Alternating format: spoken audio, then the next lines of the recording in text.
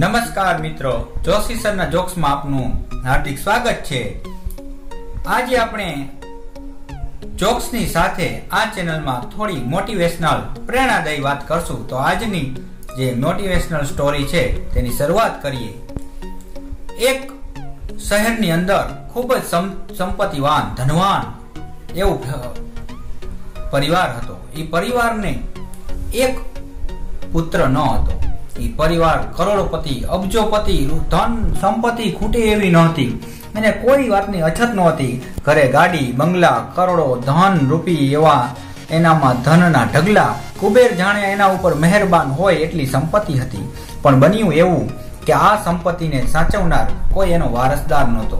એક દિવસની વાત છે, કોઈકે એને સલાહ કરી કે તમારા આ સંપત્તિને જે વારસદાર માટે તમે એક એવું આયોજન રાખો કે જેની અંદર તમે એને પસંદ કરી અને તમે એને દત્તક લઈ લો તો દત્તક લેવા માટે એને એક આયોજનની રચના કરી.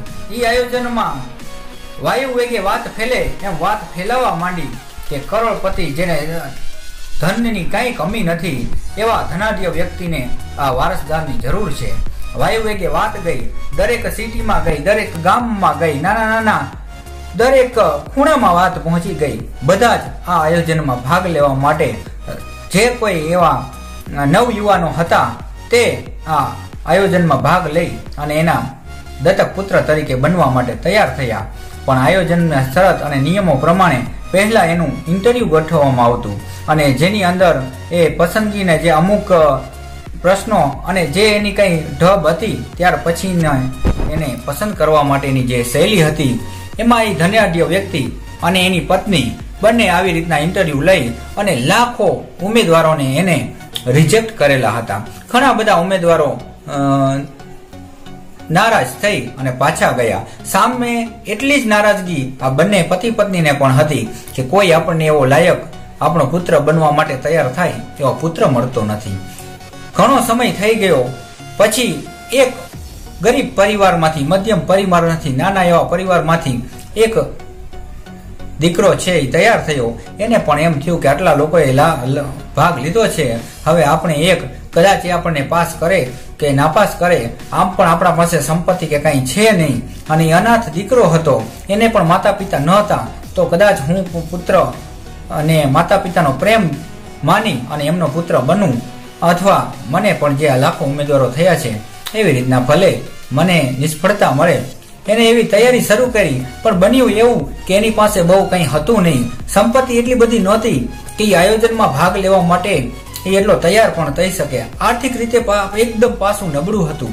પછી એ કોઈ પાસેથી પૈસાની વ્યવસ્થા કરી અને પૈસાદાર ધનાઢ્ય વ્યક્તિ સામે જવું છે ઇન્ટરવ્યુ માટે, તો એને તૈયારી કરી. કોઈની પાસેથી કોટ માંગી અને વ્યવસ્થા કરી, સરસ મજાનો તૈયાર થયો. બન્યું એવું કે એ ભાગ લેવાની વાત છે. એ ધીમે ધીમે વાયુ વેગે અહીંયા પહોંચી ગઈ. તો તેને હકારાત્મકતા સાથે હા પાડી અને એ આયોજનમાં ભાગ લેવા માટે એ આવી રહ્યો હતો. ત્યાં જ બન્યું એવું કે જે આવતા પહેલા પોતાના જે ધનાઢ્ય પરિવારના જે બંગલાની શરૂઆતમાં જ એક ભિખારી મળ્યો. ભિખારી ત્યાં ઘણા સમયથી ત્યાં જ રહેતો હતો અને પોતે ભીખ માંગીને પોતાનું ગુજરાન ચલાવતો હતો. એ ભિખારીએ આવા ઠંડીના દિવસોમાં ખૂબ જ ઠંડીનો થરથરી રહ્યો હતો અને ભિખારીએ એ પોતાના જે નવયુવાનને આવતો જોયો અને જે ધનાઢ્ય વ્યક્તિ માટે ઇન્ટરવ્યુ માટે જતો હતો, પોતાની વ્યવસ્થા છે, કોર્ટની વ્યવસ્થા છે, આર્થિક જે પાસું હતું એકદમ નબળું હતું, છતાં પણ વ્યવસ્થા કરીને એ ઇન્ટરવ્યુ માટે જઈ રહ્યો હતો. ત્યાં જ આ ભિખારી એને મળ્યો અને ભિખારીએ એને વિનંતી કરી કે હું ઠંડીનો ધ્રુજી રહ્યો છું, તો તમે મને આ એક કોટ આપી શકો, તો મને ઠંડીમાં રાહત મળશે અને થોડું ઘણું ખાવાનું પણ મળી જાય, તો મને થોડું સારું રહેશે. બન્યું એવું કે આને પણ આર્થિક પાસું નબળું હતું, તેમ છતાં થોડા ઘણા જે પૈસા એકઠા કરેલા હતા, તે પૈસા આપ્યા. એને વિચાર્યું કે હું જે વર્તા જવાનું થશે મારે, ત્યારે હું જવા માટે રિક્ષા નહીં પણ હું પેદલ ચાલી અને ચાલ્યો જઈશ. અને જે કોટ માંગેલો હતો, પણ એને એવું વિચાર્યું કે આ કોટ પણ આ હું ભિખારીને દઈ દઉં. તો ભલે મારે ઇન્ટરવ્યુમાં હું પાસ ન થઉં, પણ આ તો ઠંડીથી બચી શકશે ને, એમ કરીને કોટ પણ એ ભિખારીને આપી દે છે. હવે, જ્યારે એ ધનાઢ્ય વ્યક્તિ પાસે આવી રીતના બતાવું, જે કંઈ લીધેલું હતું, જે પોતે પણ કોઈક અન્ય પાસેથી લીધેલી હતી એ વસ્તુ ભિખારીને આપીને એ ઇન્ટરવ્યુ માટે જાય છે. બને છે એવું કે ધનાઢ્ય વ્યક્તિ જ્યારે એના બંગલાની અંદર પ્રવેશ કરે છે, સિક્યુરિટીને અનેક સિક્યુરિટીને પૂછતો પૂછતો એ પોતાના જે મેઇન માલિક પાસે, એટલે કે જેને પુત્રની જરૂર હોય છે દત્તક લેવાની, એની પાસે પહોંચે છે. સરસ મજાનું આયોજન હોય છે, ટેબલ ઉપર બેઠેલા હોય છે, અને એ ધનાઢ્ય પતિ પત્ની યુગલ છે, તેને જોતા રહે છે.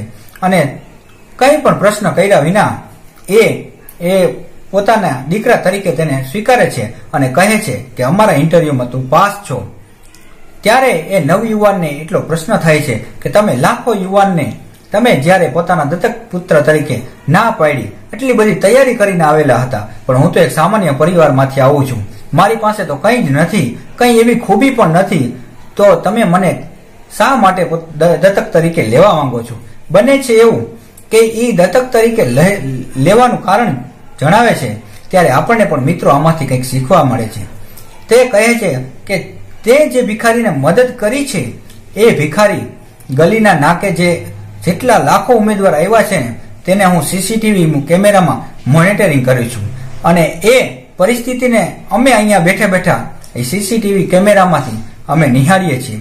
લાખો યુવાનોએ બધાએ એ ભિખારીને ધૂતકાર્યો છે. કોઈએ પણ આર્થિક રીતે પાછું ગમે તેવું હોય, કેટલાય પૈસાવાળા આવેલા છે, પણ તેને પાંચ રૂપિયાની પણ મદદ નથી કરેલી. તું એક એવો વ્યક્તિ છો કે તું પોતે પણ પરિસ્થિતિમાં એવો, જે સામાન્ય પરિસ્થિતિમાંથી આવતો હોય, એવો લાગે અને છતાં પણ તે તારી ગરીબી હોવા છતાં તે ભિખારીની, જે પરિસ્થિતિ સમજી અને તે એને કોટ આપ્યો, તે એને પૈસા આપ્યા, એ બધું અમે જોયું. અને તારી જે આ ખૂબી છે, એવી આ લાખો કોઈ ઉમેદવારોમાં હતી નહીં. એટલે જે તારામાં પ્રેમ છે, તારામાં હોંફ છે, તારામાં આત્મીયતા છે અને અન્યને મદદ કરવાની જે સેવા ભાવના છે ને, એ કોઈ અન્યમાં નથી. અમારે એવો જ પુત્રની જરૂર હતી કે જે આ પૈસો આવતા જે પચાવી શકે અને આ જે સદમાર્ગે વપરાય આ અમારી મૂડી છે, એ સદમાર્ગે વાપરી અન્યોને મદદ કરે અને સાથે સાથે સમાજમાં નામના કરે એવા પુત્રની જરૂર હતી. તો તારામાં આ ખૂબી અમને દેખાય છે, તેથી અમે તને સ્વીકારી છે. તો મિત્રો, આ વાત ઉપરથી, આ સ્ટોરી ઉપરથી આપણે પણ એટલું જ સમજવાનું કે આપણને લોકો યાદ કરવા જોઈએ. આપણી પાસે ખાલી પૈસાથી કંઈ જ મળતું નથી. પણ જો અન્યને મદદ કરેલી હશે ને, તો તમને ઉપરવાળો કુદરત મહેરબાન થશે. અને ઘણી વખત આપણે સાંભળેલું છે, એક ટકાએ રહી ગયા, એક્સિડન્ટમાં થોડા અમથા બચી ગયા, તો આ જે પુણ્ય કમાયેલા હશું, જે આપણા જે આ સદભાગ્યની વાત કરીએ છીએ ને, તો એ જ આપણું આ સદભાગ્ય છે. જેમ એ નવયુવાનનું સદભાગ્ય ખુલી ગયું, જે નાની એવી મદદથી એવી રીતના આપણે પણ અન્યને મદદ કરીએ અને આવી રીતના આપણે પણ સદભાગ્ય બની જે ઉપરવાળો છે, આપણે કહીએ જ છીએ કે અહીંયા દેર છે, પણ અંધેર નથી. એ આજે નહીં તો કાલે તમને જ્યારે પણ કંઈક આડું આવે અને તમારું કામ થાય ને, તો આવી રીતના અન્યની જે તમે કરેલી મદદ છે ને, એ જ તમને પુણ્ય સ્વરૂપે પાછી મળે છે. તો આવી જ રીતના ભગવાન છે અને ભગવાન રહ્યો એ દરેકમાં વસેલો છે, એવું માનીને ચાલજો અને દરેકની મદદ માટે તૈયાર રહેજો. તો ચાલો આજે અહીંયા આ પ્રેરણાદાયી વાત પૂરી કરીએ અને આમાંથી કંઈક અન્યને મદદ કરવાનું નવું કંઈક શીખીએ, તો ચાલો જોશી સરના જોક્સમાં આજે અહીંયા ફરી મળતા રહેશું. ચેનલને લાઈક કરજો સબસ્ક્રાઈબ કરજો. આવજો. જય શ્રી કૃષ્ણ.